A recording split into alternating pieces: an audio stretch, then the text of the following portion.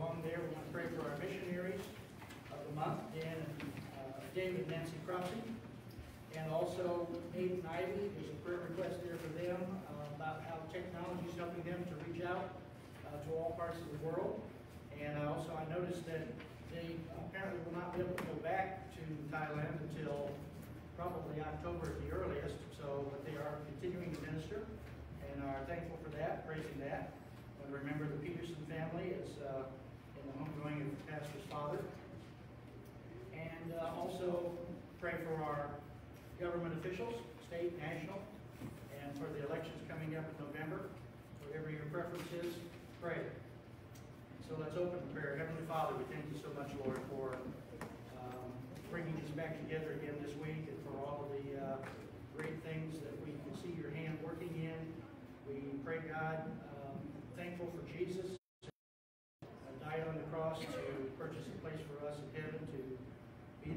redemption for our sins. And Lord, we're going to lift him up this morning in all that we say and do. We are uh, thankful for all of those who are involved in ministry here today and, and ministry throughout the week last week. And we pray for again uh, the ministry opportunities we have coming up this week for these prayer requests that uh, have been shared there in the bulletin. Lord, we lift them all up to you and we want to put your, um, see you put your stamp of blessing on this service and on those who are uh, bringing the music to us sharing with us and on Pastor Randy as he comes to share your message. Thank you so much, Lord Jesus, for your care and your love and your provision. And we pray today in your name. Amen. Announcements this week. Things going on here. You'll see something about the camper scholarships. There's a table back here that you can pick up some information about that. During the week on Wednesday, the Women's Bible Study and caregiver, caregiver support groups will be meeting. Also on Wednesday, it will be Pastor Randy uh, that brings the midweek message sometime this week, Tuesday or Wednesday, whenever that is. And Carol Conkright, I'm happy to say, has, has agreed to continue bringing the Awana lesson and the uh, adult uh, devotional and piano thing that she does on Thursdays. She's going to continue doing that as long as there is a, a need for that here and as long as people are, are benefiting from that. And lastly, we got a couple of things just looking forward. Next Sunday, Sunday school resumes, uh, which also means, you know, adults, students, children, uh, nursery will be there for that. So Sunday school resumes. We're going to have communion next Sunday. That'll be the end of the service. And for those of you who are watching online, you can participate in communion. We're going to continue to show that next week. And if you want to come by during the week pick up the, the little packets, the, the materials for the communion, you can come by the church and do that. Or you can just use whatever you can come up with at home to, to do your communion. So, Lord's table next Sunday. And lastly, on uh, September thirteenth, there will be a quarterly business meeting. And so you see the rest of the announcements there. We're grateful and thankful that you're here, and let's enjoy the Lord.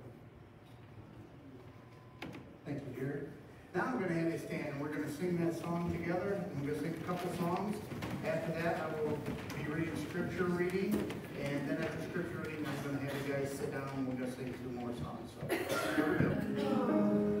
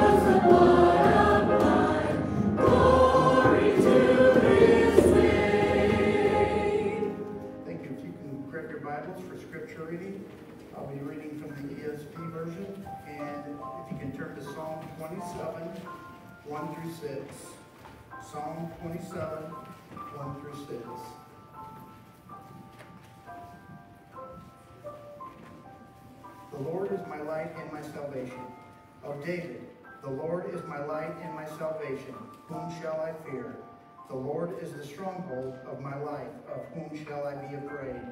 When evildoers assail me to eat up my flesh, my adversaries and foes, it is they who stumble and fall. Though an army encamp against me, my heart shall not fear. Though war arise against me, yet I will be confident. One thing I have asked of the Lord, that I will seek after, that I may dwell in the house of the Lord all the days of my life, to gaze upon the beauty of the Lord and to inquire in his temple. For he will hide me in his shelter in the day of trouble. He will conceal me under the cover of his tent. He will lift me high upon a rock. And now my head shall be lifted up above my enemies all around me. And I will offer in his tent sacrifices with shouts of joy. I will sing and make the melody to the Lord. Thank you, and may God have his blessing on the reading of his word. You may be seated and may be sit. We're going to sing a couple more songs before Pastor comes this morning.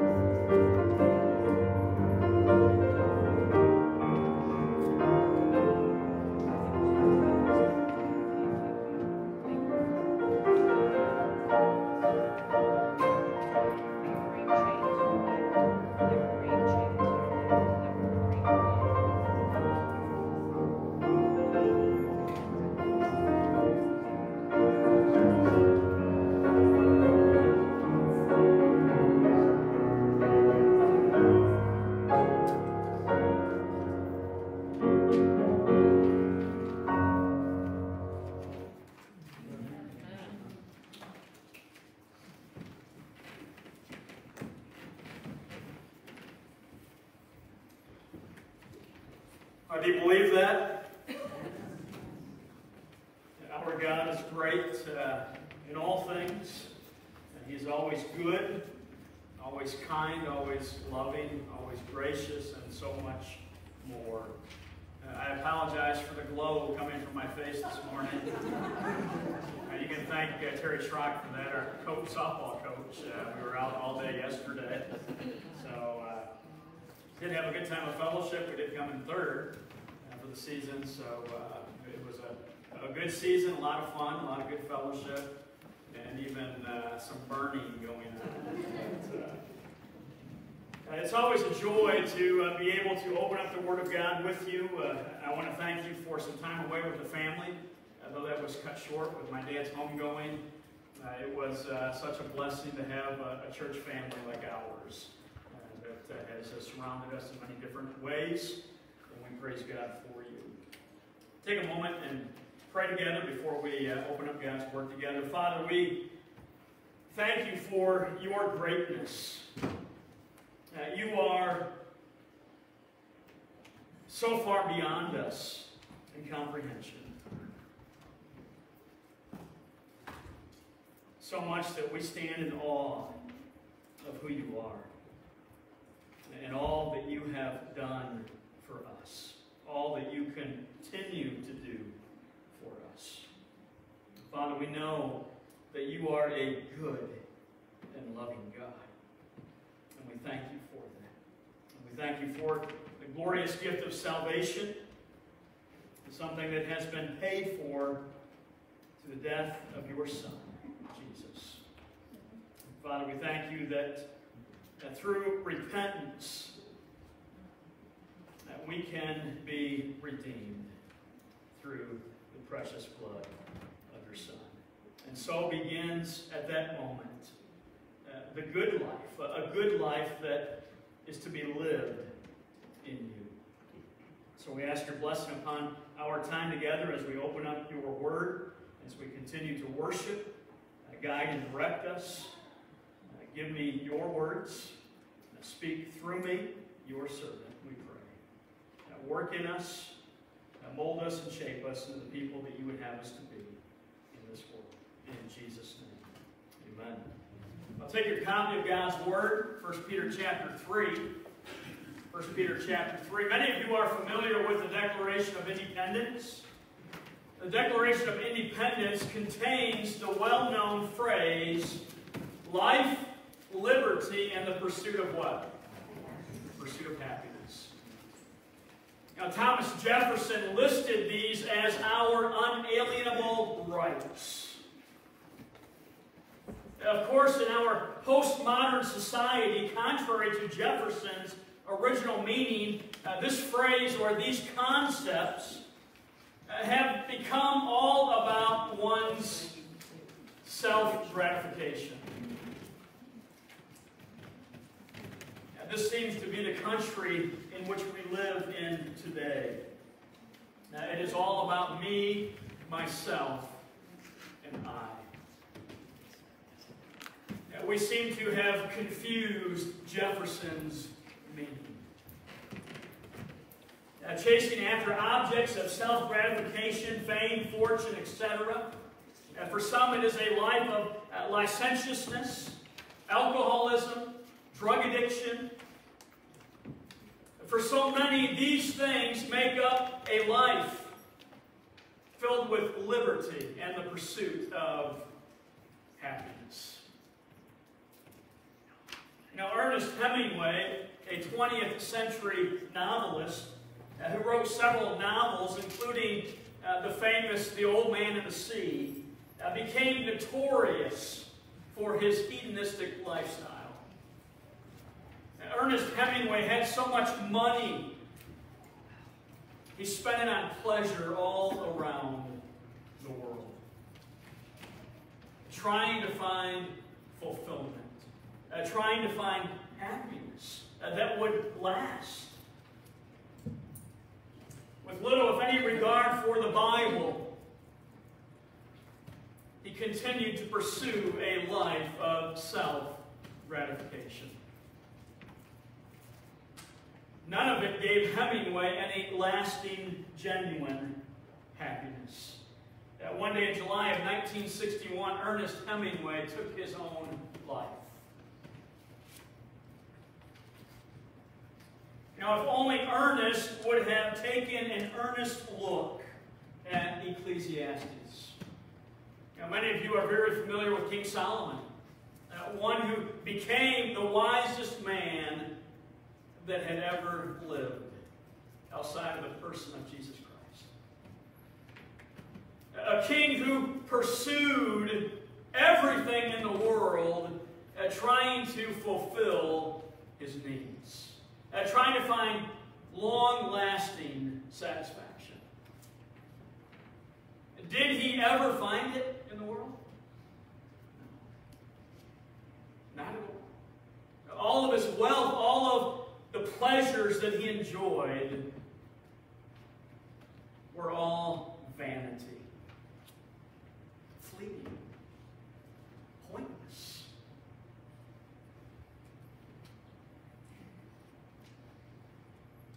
You know, he concluded with these words When all is said and done, pretty much the good life is lived when we fear God and do what? Obey His commands. When we fear God and obey His commands. That is the good life. That is the good life that, that God wants us to have in this broken and hostile world. According to God's Word, uh, living the good life is not living for one's self. It's not a me, myself, and I mentality. Uh, it's not keeping up with the Joneses or surpassing the Joneses. Uh, it's not pursuing after the things of this world. in God's eyes, it's completely different.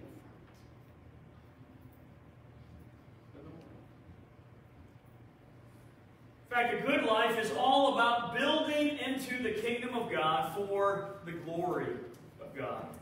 Now, the good life is all about building into the kingdom of God for the glory of God.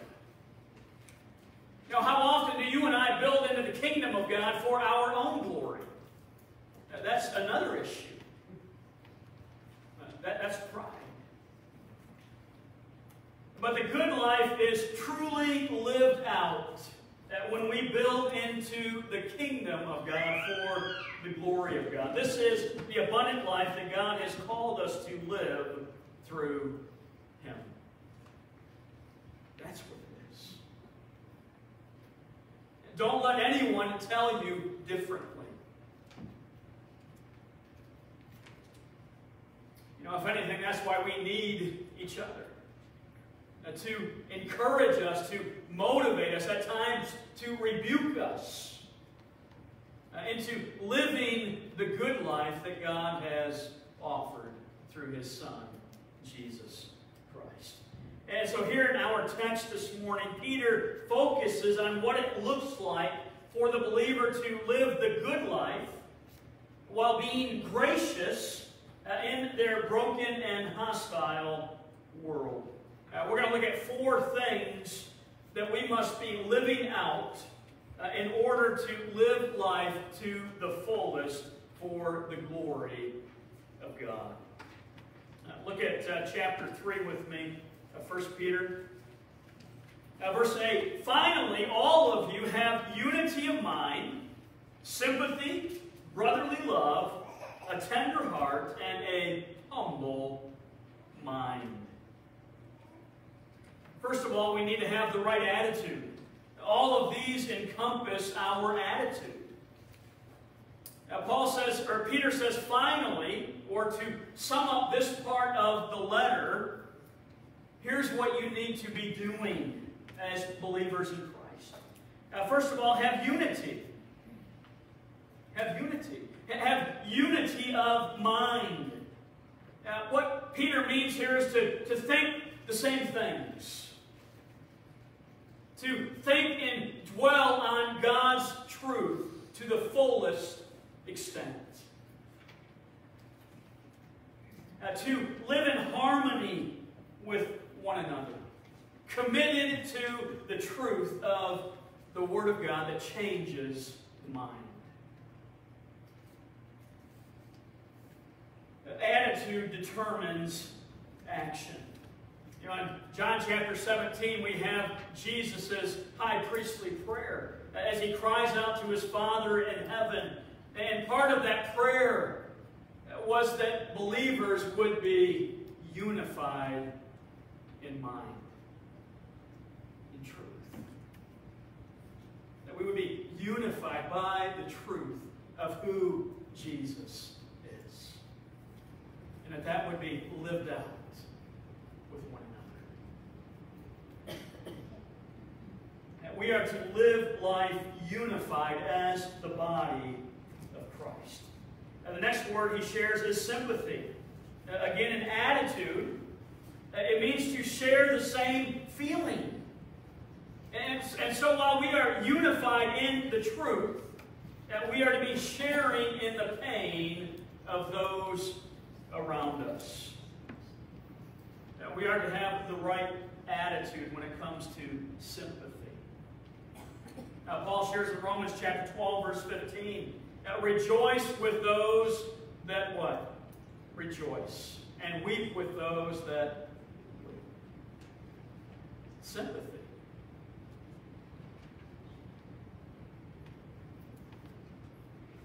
Sometimes that's not an easy thing to do. But God has called us to sympathize.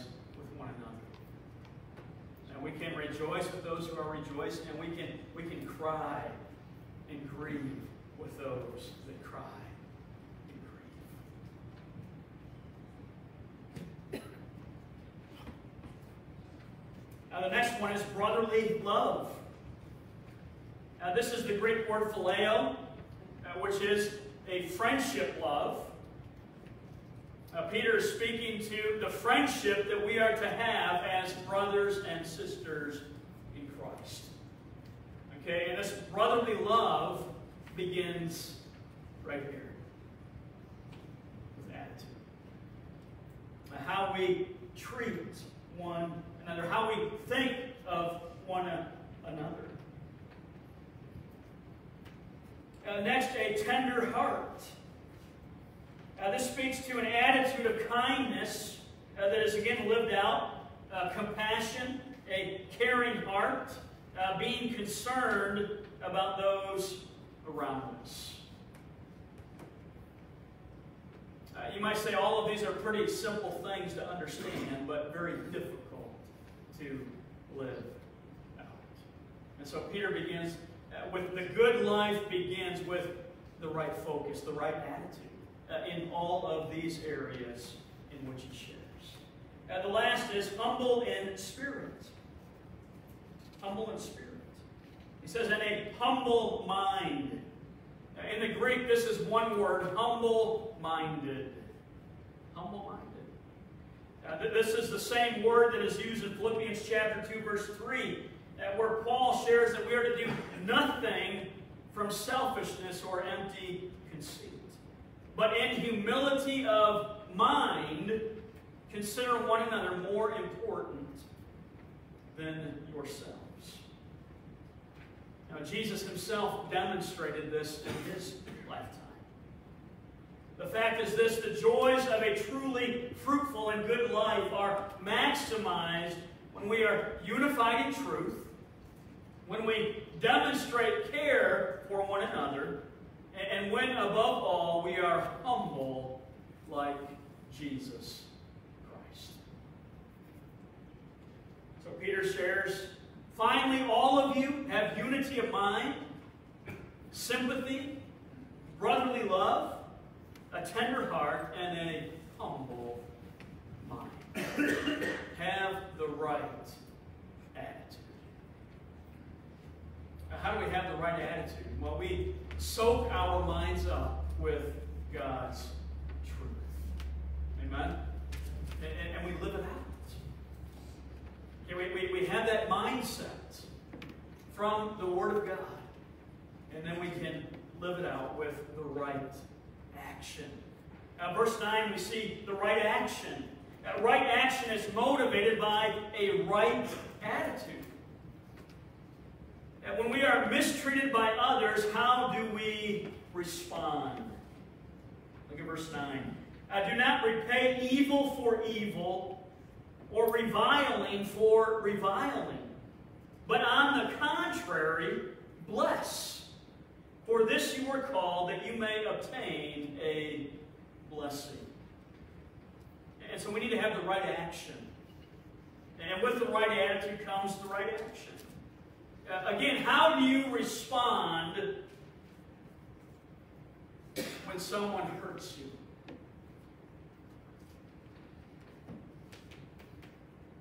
Become angry? Do you allow that anger to build into bitterness?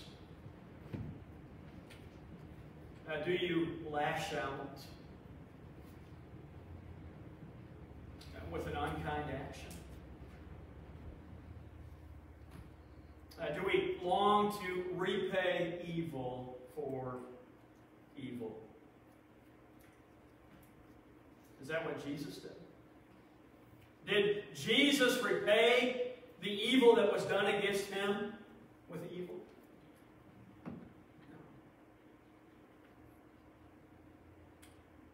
He had the right attitude, which led to the right action.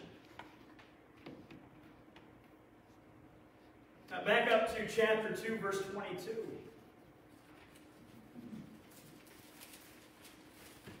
It says, He committed no sin, neither was deceit found in his mouth. That when he was reviled, he did not revile in return.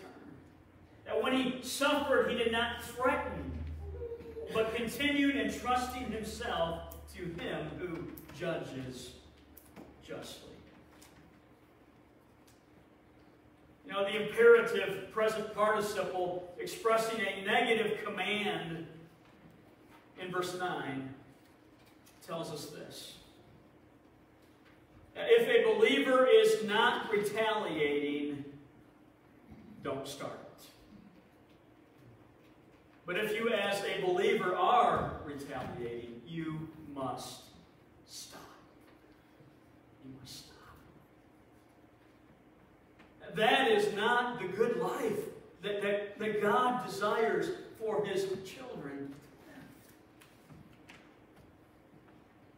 Don't repay evil for evil.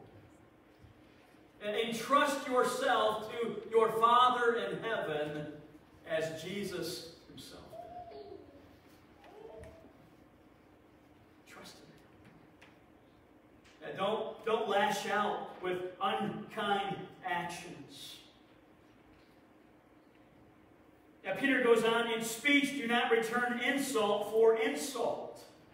Now, the Greek word here, insult, speaks to foul language against someone or speaking evil of someone. You know, do you insult those who insult you? I mean, if they throw something at you, do you throw something back?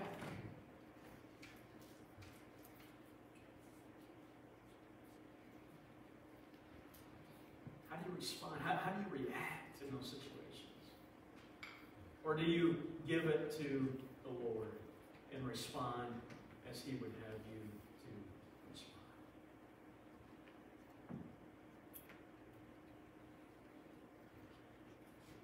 You know, maybe you don't insult them to their face. Maybe you insult them behind their back with other people.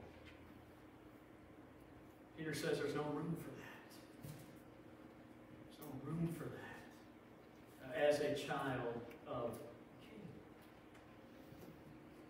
Now, to engage in such vengeance, whether repaying evil for evil or insult for insult, is an unacceptable response for the believer.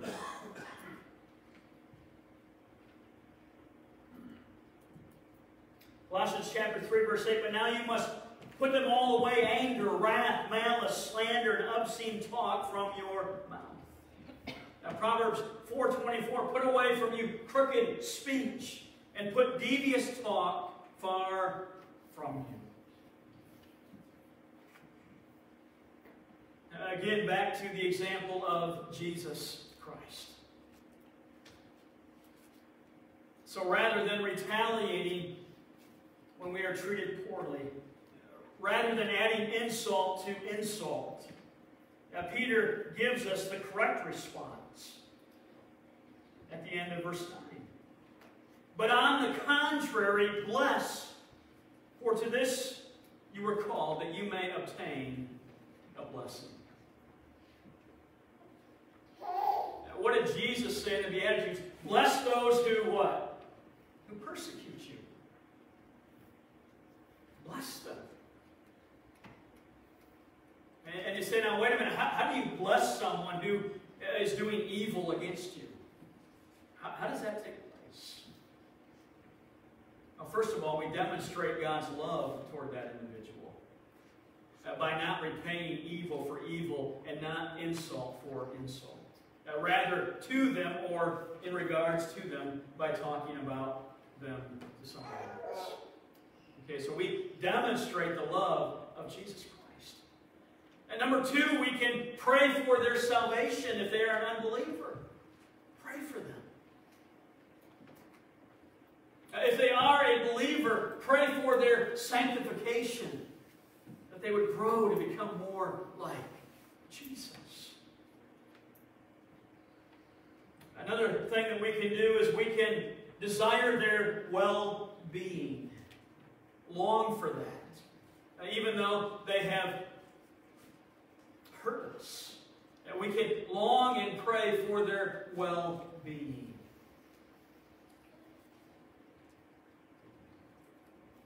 And next, we can forgive them. We can forgive them. Uh, we have been forgiven in Christ. Uh, imagine how much of a debt that was for Jesus on the cross. Uh, my sin, past, present, and future. Uh, on top of that, the, the wrath of God. I mean, if anything, if someone who has hurt us, it should be an easy consequence in light of what Christ has forgiven in us that we forgive them. Because what they have done pales in comparison to what I have done to God.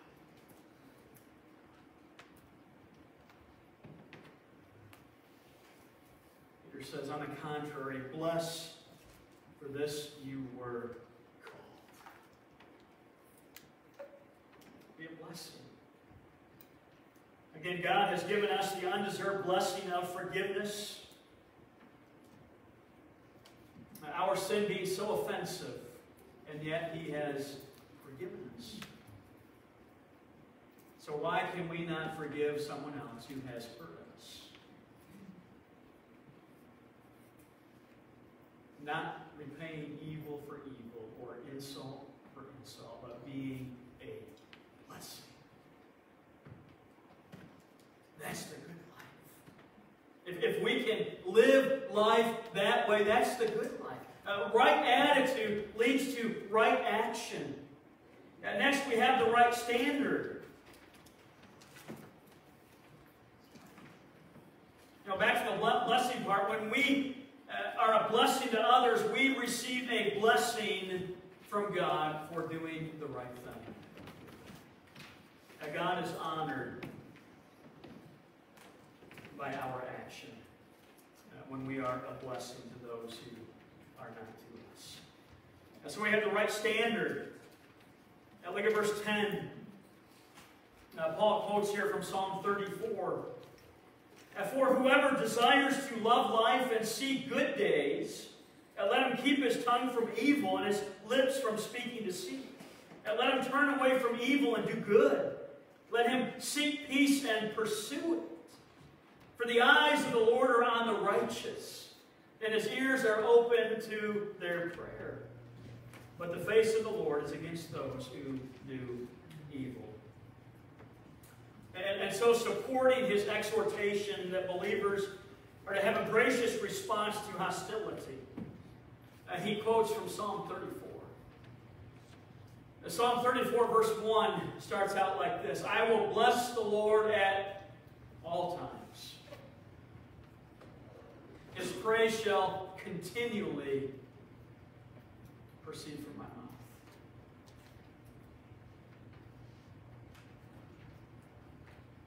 Know, a believer described here as the one who desires life, to love, to see good days, is one who must refrain from speaking anything evil or unkind. Okay, again, this is the good life. Uh, using my lips, using my tongue to speak blessing. And nothing less.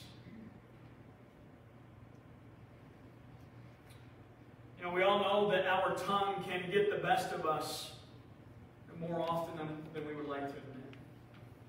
You look at James chapter 3, verse 6. James puts it this way And the tongue is a fire, a world of unrighteousness. The tongue is set among our members, staining the whole body, setting on fire the entire course of life, and is set on fire by hell. Okay, so Peter says, Be careful with your speech. You know, have, have the right standard and, and live by the standard that we have been given in God's Word. And we must commit ourselves to speak the truth and not lie. That lying, deception, and hypocrisy have no place in the lives of God's people. And when they arrive, we confess.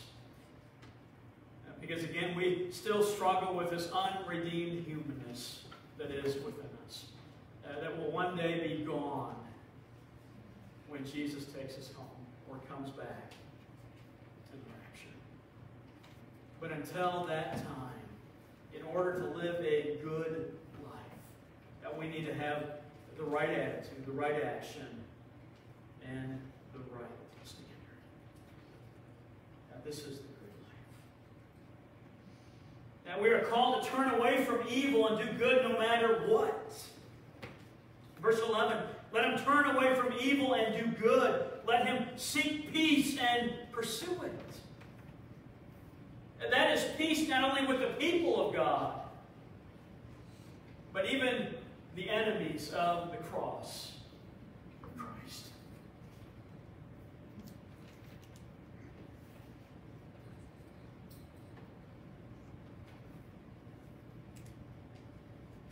Verse 12, For the eyes of the Lord are on the righteous, and his ears are open to their prayer. You know, this is the reality that should motivate us to live lives pleasing to God. God, God knows all, He sees all. There's no closet with God. That we are all open books. He sees all things. Peter says his eyes are in are, are on the righteous, as, as David shared. His eyes are on the righteous. He's not speaking of eyes of judgment, but eyes of, of care and protection.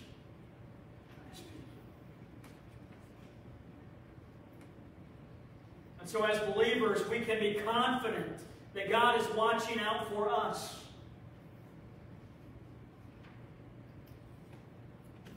And He's waiting and ready to answer our prayers. Okay, He is a good God who offers a good life to those who are in Him. Okay, we have to live it out. We, we have to take it in and, and live it out. Last part of verse 12, but the face of the Lord is against those who do evil. Okay, the wrath of God abides on the unbeliever. You know, be thankful that God has been gracious to you, that He has extended His grace, and extend that grace to those around you, that they may see Christ. At last, we need to have the right response. The right response with all that goes on in life, specifically here, persecution. Verse 13, now who is there to harm you if you are zealous for what is good? But even if you should suffer for righteousness' sake, you will be blessed. Have no fear of them, nor be troubled. Okay, Peter says no matter what happens in life,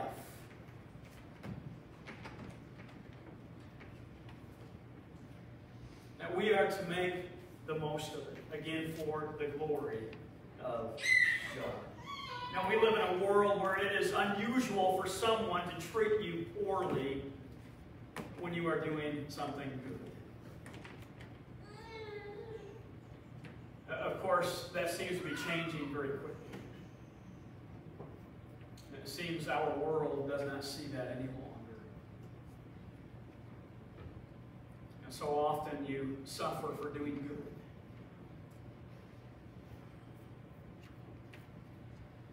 Verse 14, but even if you should suffer for righteousness' sake, you will be blessed.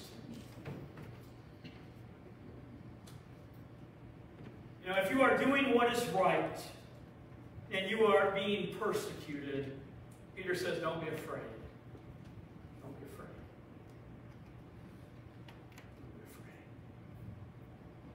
Don't give in. Stand for the truth. Stand on righteousness. Don't be afraid. You know, on sending out his disciples, uh, Jesus shared these words in Matthew chapter 10, verse 28. And do not fear those who kill the body, but rather fear him who is able to destroy both body and soul in Okay, as we live the good life that God intends us to live, as we respond the right way to all that is going on in the world, we have nothing and no one to fear. And the fact is, as a child of the King, no eternal harm can come to the people of God. Amen? And so, how do we respond when we are persecuted for doing what is right? For standing on the truth? First of all, we need to have a devotion to Christ. Uh, we need to trust ourselves to His care no matter what. And we need to have a readiness to defend the faith. Look at verse 15. But in your hearts, honor Christ the Lord as holy, always being prepared to make a defense to anyone who asks you for the reason for the hope that is in you. Yet do it with gentleness and respect, having a good conscience, so that when you are slandered, those who revile your good behavior in Christ may be put. For it is better to suffer for doing good, if that should be God's will, than for doing evil. Now, this verse is in reference to persecution that comes uh, as we live the life that God intends us to live. Now, we need to be ready to give an answer, to give a defense of the hope that is in us through. Like a defendant uh, making his defense before a judge. That we are to stand up for Christ and give a reason for the hope that we have in Him.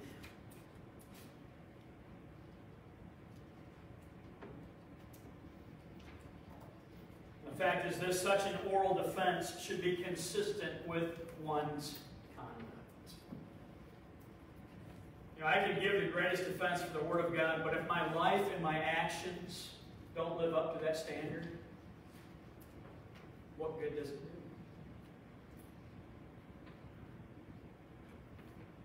And so as I grow in my walk with God and live the life that He intended, I will be able to give a good defense for Jesus.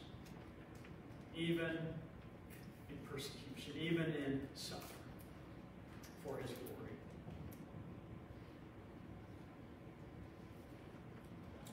this comes with knowing God's Word and living it out. And as we defend our hope in a respectful and humble way, we give God honor and glory. Pastor John MacArthur shares that we must do this humbly, thoughtfully, reasonably, and biblically. Some things to remember as we seek to live the good life that God has intended us to live, that abundant life. And the fear of man will keep us quiet. But the fear of God and the love of Christ will open our mouths. Okay, never allow the fear of man to creep in. As you seek with God's help, the Spirit's help, to live the good life that God intends you to live.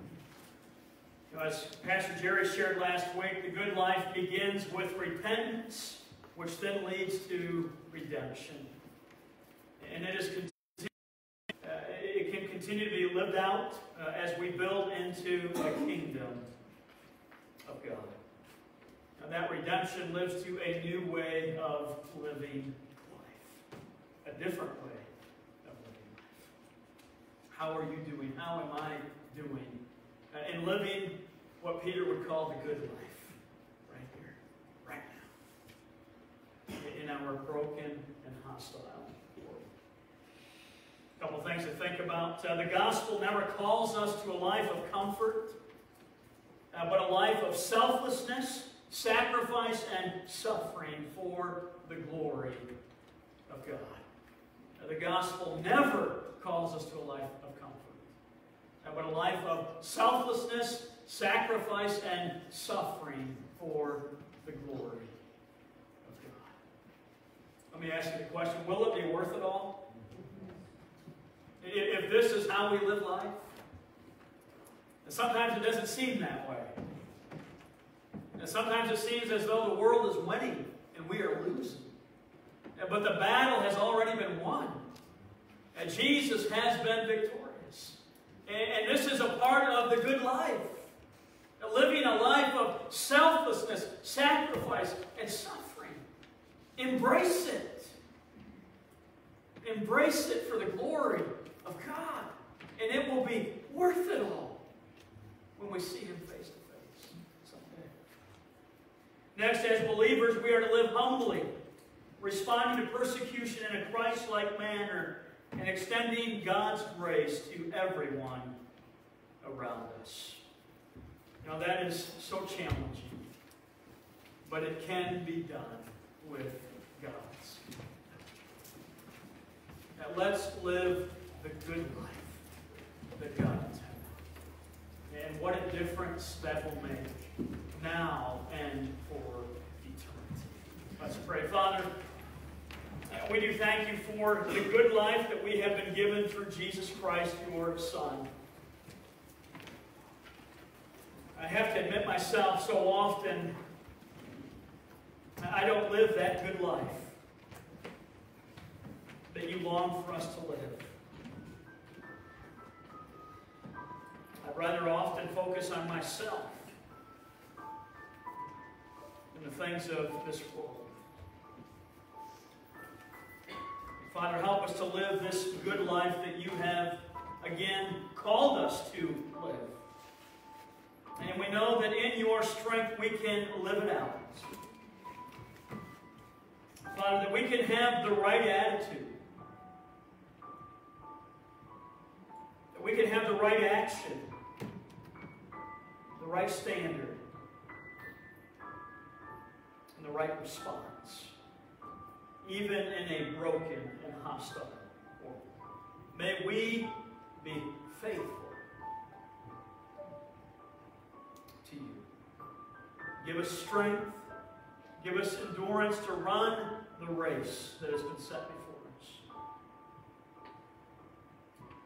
and to run in love and to seek the good life In Jesus' name. Let's all stand. We'll sing our closing song.